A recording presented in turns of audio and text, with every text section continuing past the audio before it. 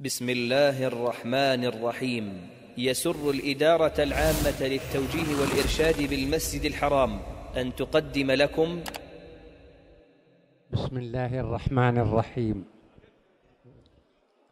الحمد لله رب العالمين.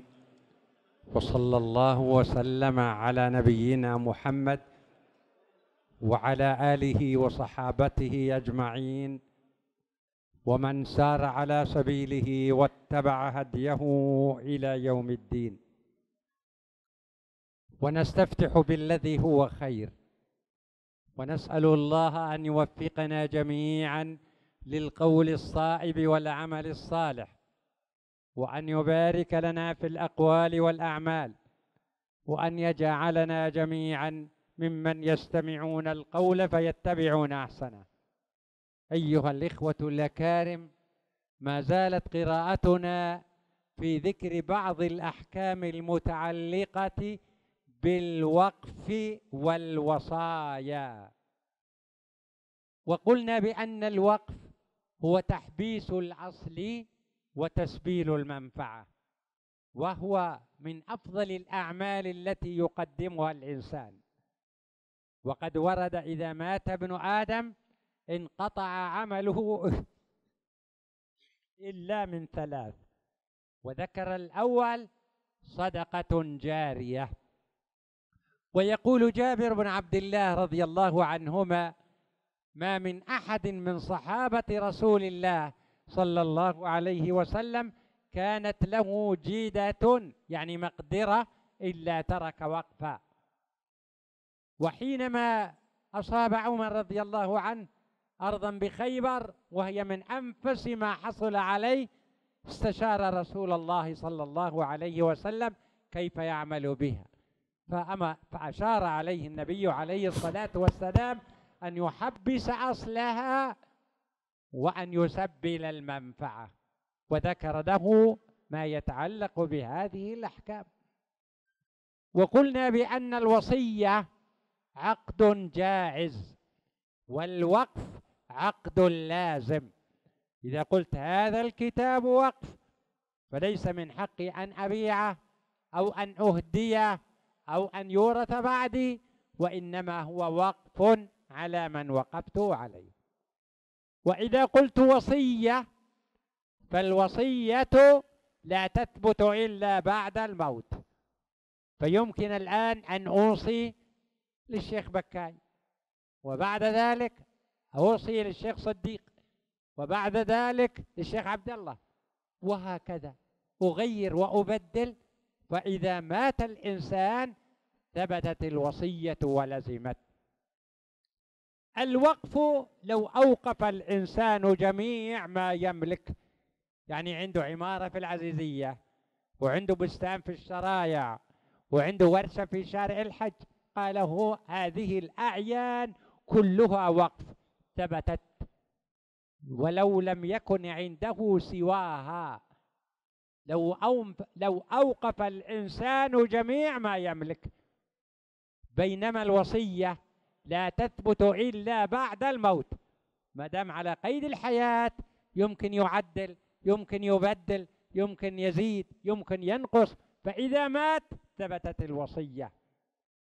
والوصية بهذا الأمر أو بهذه الطريقة لا تكون إلا بالثلث فأقل. وأما ما زاد على الثلث فنستأذن الورثة فيه.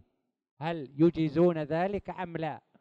فإن أجازوا ألحقناه بالثلث وإن اعترضوا اقتصرنا على الثلث. مرة أخرى. أقول الوقف لو أوقف الإنسان جميع ما يملك. وقال هذا وقف فليس من حق أي أحد من الورثة الاعتراض أو عدم الموافقة. ويثبت الوقف بمجرد ما يصرح وقفت وحبست وسبلت وكنايته تصدقت وحرمت وعبدت إذا أتى بالعبارة الصريحة أو بالكناية ومعها أحد الألفاظ الخمسة أو حكم الوقف فإذا فعل ذلك ثبت الوقف بينما الوصية الآن وصيت للشيخ صديق ثم بدا لي أن أوصي للشيخ عثمان وقلت للشيخ عبد الله إن حفظت مقصورة بن دريد أبوصي لك بكذا. قال إن شاء الله أحفظها مضى وقت ما حفظها. رأيت أن أستبدله بآخر. قلت له مرة إن حفظت ألفية بن مالك فأنا أوصي لك بكذا. ما حفظها؟ أغير وأبدل. لكن إذا مات الإنسان لزمت الوصية. ومن ضوابطها أنها تكون في الثلث فأقل. ما الدليل على هذا أيها الأحباب؟ الدليل على هذا ما جرى بين سعد رضي الله عنه والمصطفى عليه الصلاة والسلام حينما جاء سعد مع رسول الله في فتح مكة ومرض سعد في مكة وأوشك على الهلاك. عاده النبي عليه الصلاة والسلام عيادة مريض وأراد أن يستفتي رسول الله وهو يرى أنه مريض ويحس أن أيامه قريبة تنتهي. قال يا رسول الله إن عندي مال كثير وليس عندي إلا بنية بنت وحدة. أفتصدق أفأتصدق به؟ قال عليه الصلاة والسلام لا. قال بالثلثين؟ قال عليه الصلاة والسلام لا. قال بالشطر؟ يعني بالنصف؟ قال لا. قال بالثلث؟ قال عليه الصلاة والسلام بالثلث والثلث كثير. ثم علل إنك إن تدع ورثتك أغنياء خير من أن تدعهم عالة يتكففون الناس يعني يمدون أكفهم يسألون الناس. كان الوقت هذا سعد ما عنده إلا بنية وأطال الله في عمره وفتح القادسية وناصر الإسلام ودافع عن العقيدة وحينما مات كان عنده 12 ابن وعشر بنات.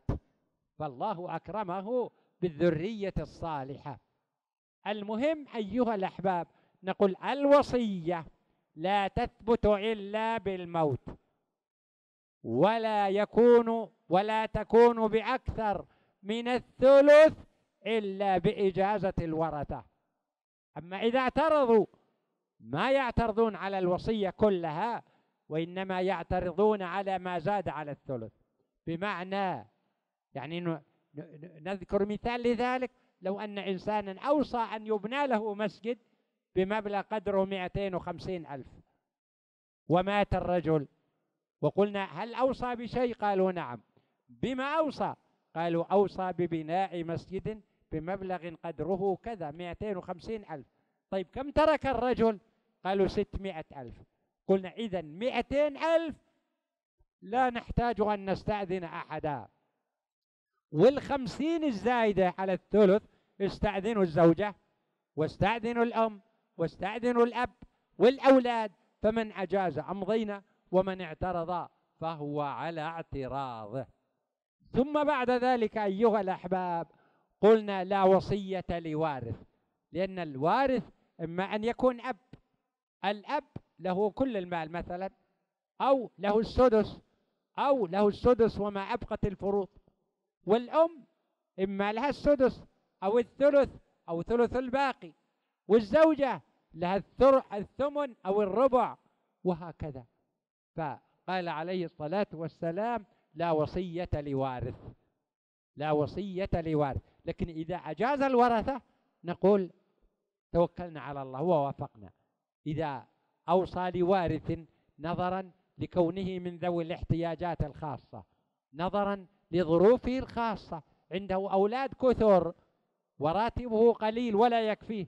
فقال البيت الفلاني يسكن به فلان مدة حياته وهو من أولاد. نقول نعم لأنه لا يستطيع الاستئجار. فإذا أقر الورثة ما أوصى به مورثهم فلا مانع من ذلك. وأما إذا اعترضوا فهم على اعتراضهم. الآن أيها الأحباب نقرأ بعض المسائل ثم ننتقل إلى بحث جديد وهو الرجوع. أنا أوصيت لفلان أوصيت للشيخ عثمان بعدين بدا لي أن أوصي للشيخ بكاي. أوصيت للشيخ بكاي بعدين بدا لي أن أوصي للشيخ صديق وهكذا. هل يحق أو لا؟ نقول ما دام الإنسان على قيد الحياة يمكن أن يعدل ويبدل ويلغي وصية فلان ويثبت وصية آخر بالضوابط الشرعية. نعم. بسم الله الرحمن الرحيم. الصلاة والسلام على أشرف الأنبياء والمرسلين. قال المصنف في كتابه رحمه الله وإن وصى لرجل بمال الكتابة ولآخر. بر... وإن وصى بعتق مكاتبه. هذا اللي وقفنا عليه. فصل إذا أوصى بعتق مكاتبه. إذا أوصى بعتق مكاتبه أو الإبراء مما يعني عليه. ما هو المكاتب أيها الأحباب؟ يعني في الزمن السابق كان في أرقة. أرقة. والرق عجز حكمي يقوم بالإنسان سببه الكفر. وبعض الأرقة قال لسيده أنا أريد أشتري نفسي. هو ما عنده مال يدفع. وإنما قال أشتري نفسي على أن أدفع القيمة على أقساط على أقساط شهرية. هذه الأقساط أدفع لك كل شهر ألف ريال كل شهر خمسمائة ريال مدة محددة. فتسمى هذه كتابة فتسمى هذه كتابة فإذا استمر في السداد وأدى ما عليه عتق وإذا تقاعس أو رغب العودة فإنه يرجع رقيقا. والمكاتب رقيق ما بقي عليه درهم. فإذا سدد جميع الأقساط يعتبر هذا يعني مصححا للكتابة وهي نافذة ويكون قد اشترى نفسه وأصبح حرا. نعم. والمكاتبون لما كان في أرقة كان فيه مكاتبون والمكاتبون كانوا من الأصناف الذين يصح دفع الزكاة إليهم. الفقراء والمساكين والعاملين عليها والمؤلف قلوبهم وابن السبيل والمكاتبون إلى آخره. نعم. إذا أوصى بعتق مكاتبه أو. المكاتب فلان يعتق. صدت قسطين ثلاثة وقال يعتق أوصى بعتقه. أو الإبراء مما عليه؟ أو الإبراء يعني على اشترى نفسه بعشرة آلاف. دفع منها سبعة. وبقي ثلاثة. قال أبرأته عن الباقي. أبرأته عن المبلغ الباقي وهو ثلاثة ألف بينما الآن نقول ما عندنا رقة وإنما هذا في زمن المؤلف رحمه الله. والرق قلنا عجز حكمي يقوم بالإنسان سببه الكفر. والدولة وفقها الله في هذه البلاد المباركة أعتقد جميع الأرقة من يدعي شخصا فعليه أن يثبت أن يثبت هذا الادعاء ويأخذ الثمن من الدولة. وإلا فإن الرقيق قد أعتقته الدولة ولم يوجد لدينا أحد منهم الآن. نعم. أو الإبراء مما عليه اعتبر من الثلث أقل الأمرين. من قيمته مكاتبا أو مال كتابته لأن العتق إبراء والإبراء عتق. العتق إبراء والعتق إبراء كذلك. نعم. فاعتبر أقلهما وألغي الآخر فإن احتمله الثلث عتق وبرئ. عتق وبرئ انتهى الأمر. نعم. وإن احتمل الثلث وإن احتمل الثلث بعضه. نصف بعضه كنصفه وثلثه أو كذا العبد يعني. العبد لو كان موجود. نعم. عتق نصفه. نصفه أو ثلثه أو ربعه على حسب ما الثلث. نعم. وبقي نصفه على الكتابة. وبقي نصفه على الكتابة. نعم. وإن لم يكن للموصي سوى سوى المكاتب. ما يملك إلا هذا الرجل. نعم. عتق ثلثه في الحال. في الحال. وبقي ثلثاه على الكتابة. نعم. إن عجز رق وإن أدى عتق. عجز عن السداد عاد إلى الرق. وإن سدد ودفع المبلغ المطلوب عتق نعم. وإن قال ضعوا عن مكاتبي أكثر ما عليه. أكثر ما عليه. أكثر المبلغ اللي عليه. نعم. وضع عنه النصف. وضع عنه النصف. نعم. وأدنى زيادة. وأدنى شوي زيادة. النصف زيادة لأن النصف والنصف الثاني متساويات. أكثر ما عليه. يعني نزيد النصف بشيء علشان يصير أكثر. نعم. وأدنى زيادة. لأنه الأكثر وإن قال ضعوا عنه أكثر نجوم. أكثر نجومه. نعم. يعني الأقساط. وضع عنه أكثر من نصفها. يعني إذا صارت أكثر نجومه. إذا كان عشرة أقساط نقول ضعوا عنه خمسة. وإذا كان ستة أقساط نقول ضعوا عنه أربعة أكثر الأقساط. نعم. وإن قال ضعوا عنه أكبر نجومه وضع عنه أكثرها مالا. وإن قال ضعوا عنه أوسط, أوسط نجومه. وهي هي ثلاث ثلاثة وضعنا الثاني لأن الثاني هو الأوسط. وإن كانت خمسة وضع الثالث. نعم. وإن كانت أربعة وضع الثاني والثالث. والثالث. وعلى هذا القياس فإن كانت أوسط في القدر وأوسط في المدة وأوسط في العدد فللوارث وضع أي الثلاثة شاء نعم. لأن الأوسط يقع على الثلاثة. نعم. وإن قال ضعوا عنه ما قل يعني شيء يسير أو وإن قال ضعوا عنه ما قل أو, أو ما كثر كثر.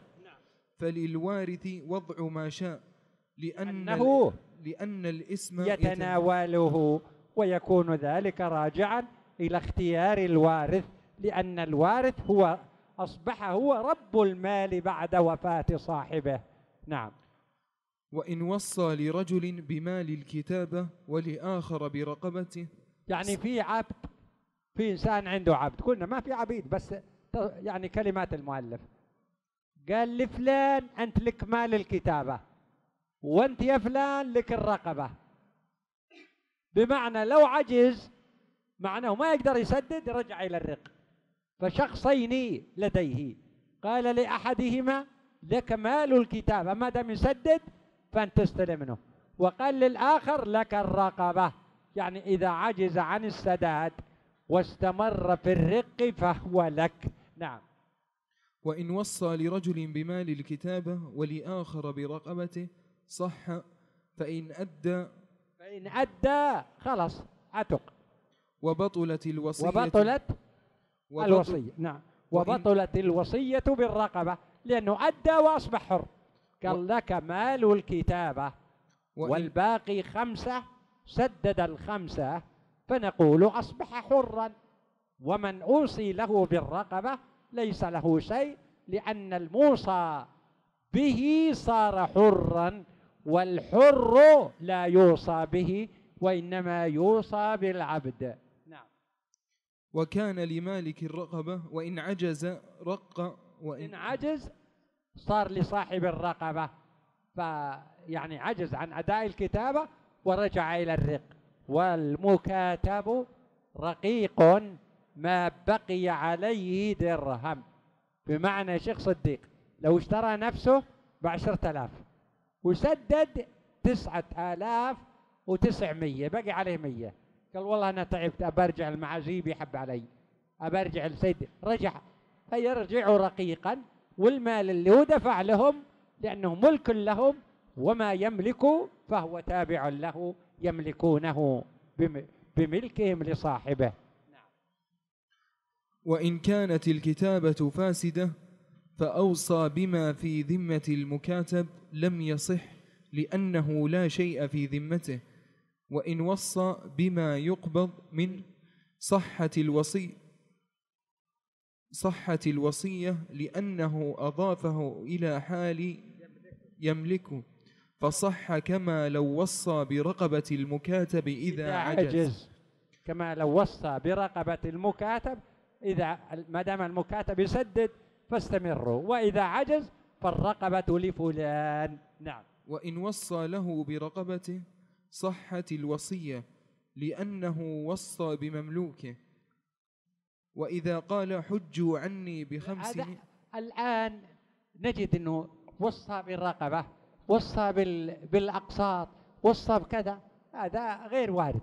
الفصل هذا قال حجوا عني بخمسمية حجوا عني بألف.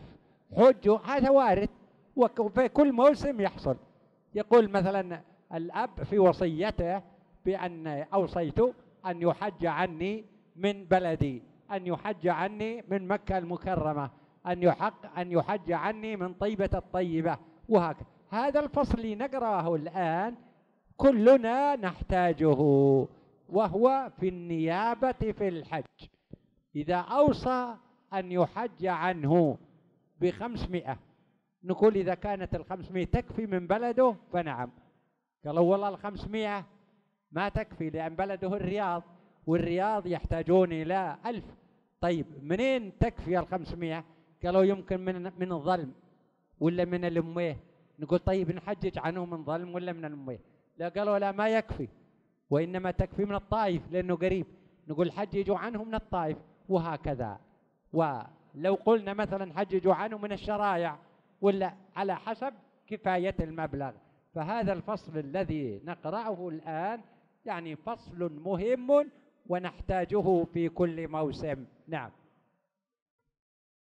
فصل وإن قال حجوا عني بخمسمائة وهي تخرج من الثلث. ما في إشكال لأنها تخرج من الثلث.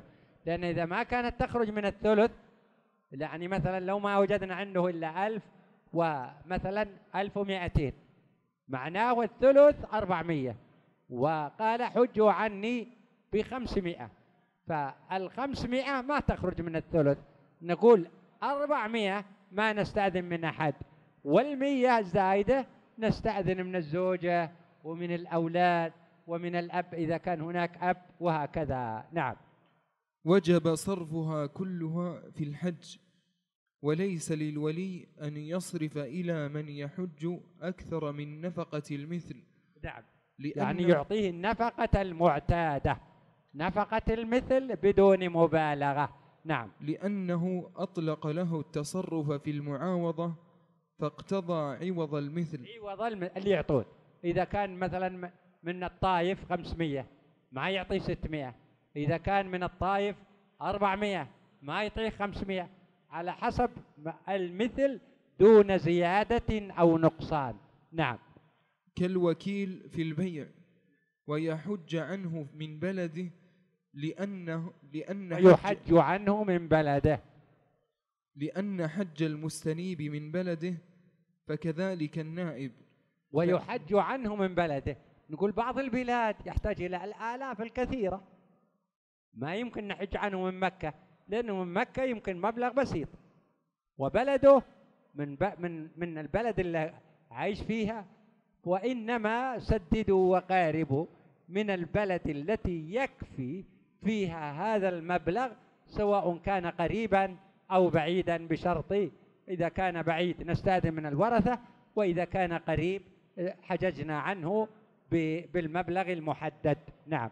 ويحج عنه من بلده لأن حج المستنيب من بلده فكذلك النائب فإن فضل ما لا يكفي للحج من بلده أو كان الموصى به لا يكفي للحج من بلده فقال أحمد قال أحمد الإمام أحمد بن حنبل إمام أهل السنة رضي الله رحمه الله نعم. يحج عنه من حيث, حيث تبلغ. بلغ أو من حيث تبلغ. وش كيف من حيث تبلغ يا شيخ الكاي؟ المبلغ اللي يكفي.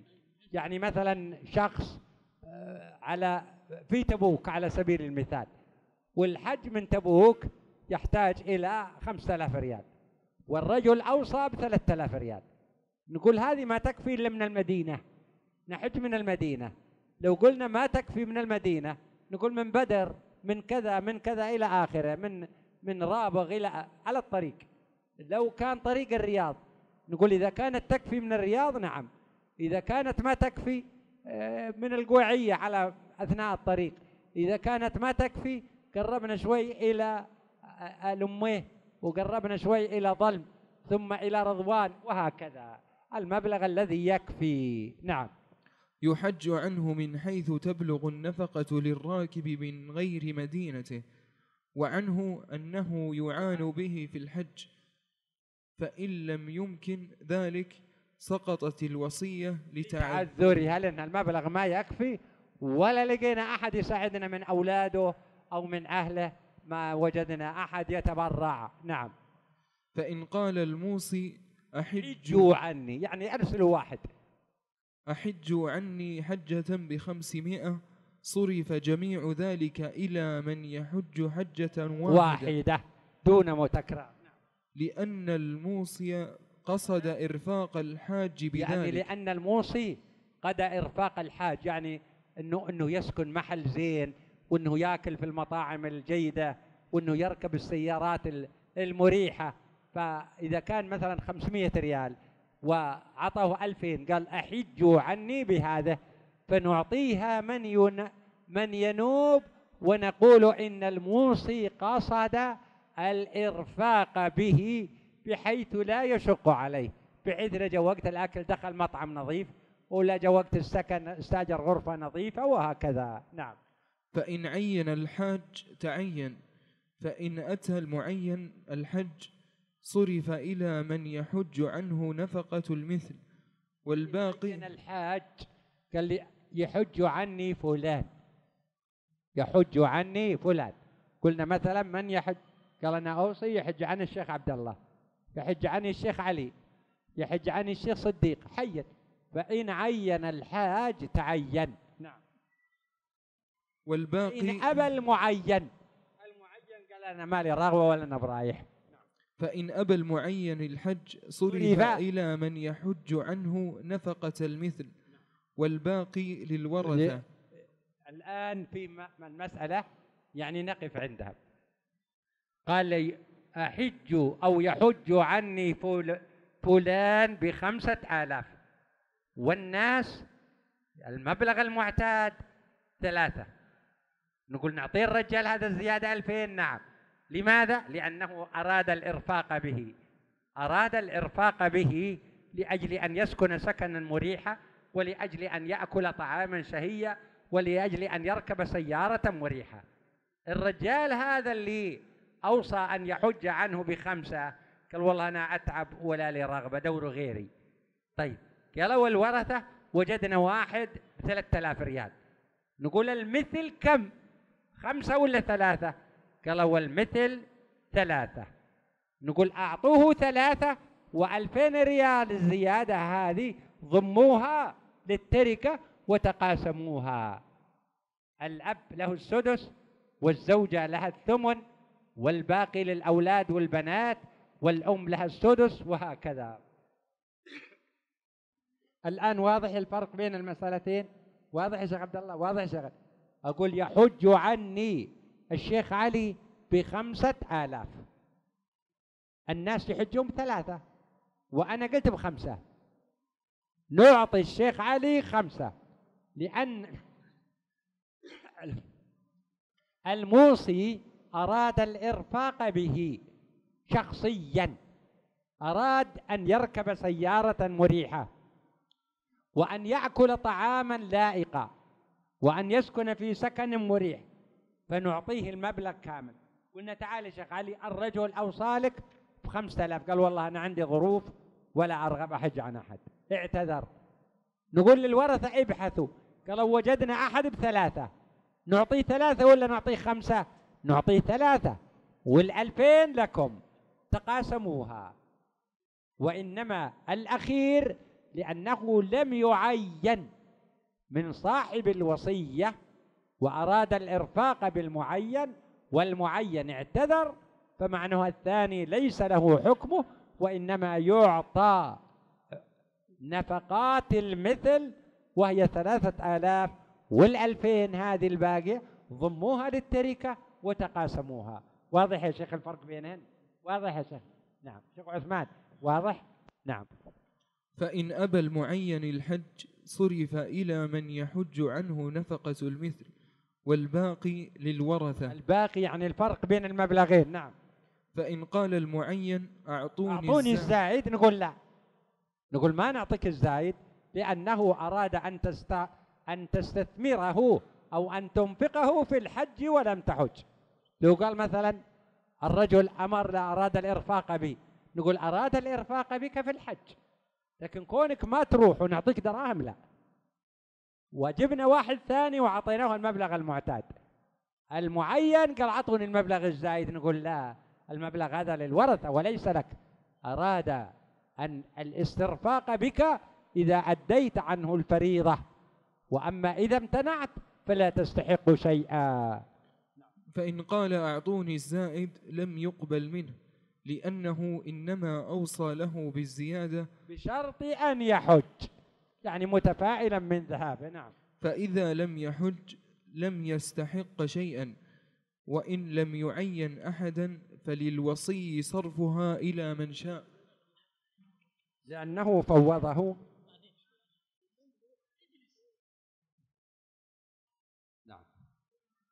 وإن لم يعين أحدا فللوصي صرفها إلى من شاء لأنه فوض إليه الاجتهاد فيه. وإن قال الموصي أحجوا عني حجة ولم, ولم يذكر ولم المقدار. ولم يذكر المقدار لم يدفع إلى من يحج عنه إلا قدر نفقة المثل. المثل دون زيادة. نعم. إلا أن لا يوجد من يحج بذلك. فيعطى أقل ما يوجد من من يحج. به. وكذلك إن قال أحجوا عني ولم يذكر قدر ما يحج به. ما يحج به. ولم يذكر قدر ما يحج به. ولا قدر الحج. يعني كم مرة؟ ولا قدر الحج. لم يحج أكثر من أكثر حجة من واحدة بنفقة المثل. بنفقة المثل. نعم. فصل وإذا أوصى ببيع عبده فالوصية باطلة. لماذا يوصي ببيع عبده؟ يبقى عبده ما يستفيد. يبقى عند ربعه الأولين أخير نعم. لأنه لا, لا نفع, نفع له للعبد. لا نفع للعبد ببيعه. وإن قال أوصى بعتقه نعم. ينتقل من ال ال من ال العبودية من الرق إلى الحرية نعم. لكن لو قال بيعوه لا. وإن قال بيعوه لفلان صحت الوصية. بيعوه لفلان نقول زين يمكن رأى شيئا آخر. فلان رجل صالح وأراد أنه يعيش عنده. أو فلان مثلا أو أن العبد فيه خير ويريد يساعد فلان على أموره وعلى دينه وعلى عقيدته. فنعم. لكن لو قال بيعوه بس نقول لا. لو قال بيعوا لي فلان نقول نعم. لأنه قد يكون قصد أمرا خفي علينا. لأنه قد يقصد نفع العبد بإيصاله إلى فلان أو نفع فلان بإيصال العبد إليه. فإن أبى الآخر شراءه بطلت. بطلت الوصية. وإن قال اشتر وإن قال اشتروا عبد زيد بخمسمائة فاعتقوه فأبى زيد بيعه بخمسمائة أو بيعه بالكلية بطلت الوصية لأنه حدد لنا المبلغ. ولا يمكن أن نزيد عليه. إلا لو تبرع الورثة فهذا أمر آخر. وإن اشتروه بأقل فالباقي للورثة لأن المقصود قد حصل. ويحتمل أن تكون الخمسمائة لزيد لأنه يحتمل أنه قصد محاباته. بذلك بذلك فأشبه ما لو قال يحج عني يحج, يحج عني, عني فلان بخمسمائة. وإذا أوصى بفرس بفرس و فالفرس هذه للجهاد في سبيل الله. نعم. وإذا أوصى بفرسه في سبيل الله عز وجل وألف درهم, درهم ينفق عليه. ينفق عليه على الفرس. فمات الفرس فالألف للورثة لأن الوصية بطلت فيها لعدم مصرفها وإن أنفق بعضها رد الباقي, رد الباقي على الورثة. ونكتفي بهذا أيها الأحباب على أن نكمل إن شاء الله هذه المسائل في درسنا في يوم غد إن شاء الله. وصلى الله وسلم على نبينا محمد وآله وصحبه وسلم. يقول السائل الكريم يقول يوجد علي زكاة مال كبير. أنا وشريكي فهل يجوز أن نضعها في مشروع أو في بنك إسلامي والعائد نجعله لله؟ لا لازم لازم من إخراج الزكاة. إذا في ألف الزكاة الألف خمسمائة. وإذا أربعين ألف زكاة الأربعين ألف ألف. وإذا مئة ألف ألفين وخمسمائة. وإذا مليون خمسة وعشرين ألف. يجب إخراج الزكاة وعدم يعني التأخر فيها ويبادر الإنسان بإعطائها لأقاربه المحتاجين. والله سبحانه وتعالى يتولى أمره وهي تكون سببا في نماء المال وزيادته. أخ كريم يقول هل يجوز لي أن أوصي ببعض مالي لأحد الورثة لأنه فقير ومحتاج؟ قلنا إذا كان من ذوي الاحتياجات الخاصة ووافق الورثة لا بد من استئذانهم. فإذا وافقوا فنعم وإلا يكفيه حصته الإرثية يكفيه حصته الإرثية والله يتولى الجميع. يقول السائل الكريم يقول طفت بالكعبة وفي الشوط السادس أذن للصلاة أذن للصلاة فجلست بعد الحجر حتى انتهت الصلاة. ورجعت إلى الحجر وصليت ركعتين. ثم أكملت الطواف. نقول ما دام رجعت إلى المكان الذي انتهيت منه وأكملت الطواف فهو صحيح.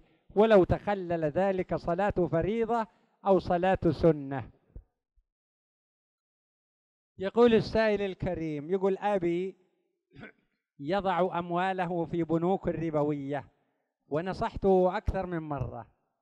ولم ولم يرجع. فهل إذا مات يصح لي أن آخذ من هذه الأموال من الميراث؟ نقول أولا احرص على يعني أن تدعو والدك ليرجع إلى الرشد والصواب. وأن يبتعد عن الأمور المحرمة. ويمكن أن تستعين بأحد من أهل الخير. لإقناع والدك بذلك فذلك فيه خير عظيم. يقول أنه رجل ترك عشرين ألف ريال من من التركة وأوصى بها لبناء مسجد وهي لا تكفي. نقول إذا ما عنده غيرها الورثة لهم لهم الحق الاعتراض على ما زاد عن سبعة آلاف أو زاد عن ستة آلاف وسبعمية وكذا. لهم الحق اعتراض على ما زاد على الثلث لكن كان العشرين هذه هي الثلث. ف وقد أوصى ببناء مسجد وهي لا تكفي فيمكن تستعين بمن تثق به من الأخيار ممن تراهم يقيمون أو يعملون يبنون المساجد فتساهم معهم بهذا المبلغ. والله يعظم لكم الأجر والثواب. يقول ما صحة آه، حديث أو كذا مكة كلها حرام. نقول مكة كلها حرام. والدليل على ذلك آية كريمة. يقول عز وجل سبحان الذي أسرى بعبده ليلا من المسجد الحرام إلى المسجد الأقصى. بينما الإسراء كان من بيت أم هانئ وليس من المسجد الحرام. بيت أم هاني قريب من الماء الحرم ودخل الآن في فمكة كلها حرم بحدودها. الأعلام هنا يعني وذكر عليه الصلاة الأحاديث في من جهة المدينة من التنعيم ومن جهة الطائف نقول الجعرانة أو العبدية ومن جهة جدة الشميسي ومن جهة جنوب مكة الحصينية وهي معروفة وعليها يعني علامات واضحة. يقول إذا أراد العبد أن يكافئ سيده يكاتب سيده هل يلزم؟ يقول أصلا السؤال هذا غير وارد لما عندنا الآن أرقة. ليس لا يوجد لدينا أرقة نكاتبهم وإنما الدولة أعتقت جميع الأرقة. يقول السائل الكريم هل يجوز أن أقوم بأداء عمرة من مسجد عائشة اللي هو التنعيم؟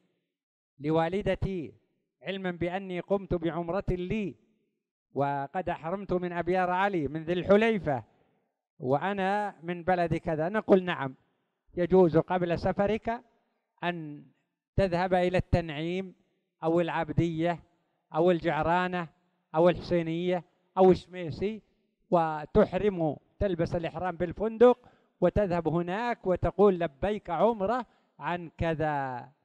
والمك وأنت الآن في مكة والمكي إذا أراد العمرة أحرم من الحل وإذا أراد الحج أحرم من بيته.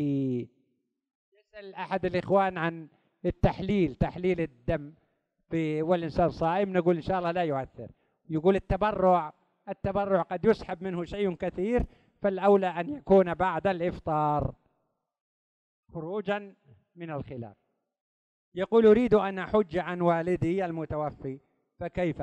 أنت الآن في مكة فإذا جاء الحج وأنت هنا وقد سبق أن أديت الفريضة عن نفسك تقول لبيك عن والدي. وقد سمع النبي صلى الله عليه وسلم رجلا يقول لبيك عن شبرمة. قال من شبرمة؟ قال أخي. قال حججت عن نفسك؟ قال لا. قال حج عن نفسك ثم حج عن شبرمة. فأنت الآن تريد أن تحج عن والدك إذا كنت أديت الفريضة عن نفسك فيوم ثمانية إن شاء الله وأنت في مكة تتجهز وتقول لبيك عن والدي فلان وتذهب إلى منى. أحد الإخوان بارك الله في الجميع يقول ما المقصود من تقبيل الحجر الأسود؟ نقول قبله النبي صلى الله عليه وسلم وعمر رضي الله عنه قبله.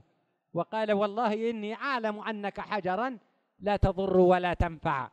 ولولا أني رأيت رسول الله صلى الله عليه وسلم يقبلك ما قبلتك. ومن السنن التي أرشدنا إليها المصطفى عليه الصلاة والسلام أن نشير إليه إذا مررنا بالحجر. وإن لم نتمكن أولا أن نقبله. ثم إذا ما تمكنا من التقبيل أن نستلمه باليد. فإذا ما تمكنا أشرنا إليه وكان مع النبي عليه الصلاة والسلام محجن يشير إليه بمحجانه. وأما الركن اليماني فنحن نستلمه إذا أمكن وإذا ما لم يمكن الاستلام فنحن لا نقبله ولا نشير إليه. جاء معاوية من الشام رضي الله عنه ودار على جوانب الكعبة يستلمها. فأنكر عليه الصحابة. قالوا يعني إنك فعلت هذا ولم يفعله رسول. قال ليس في الكعبة شيء مهجور. قالوا نعم لكن لا نقبل أو لا نستلم إلا ما فعله رسول الله.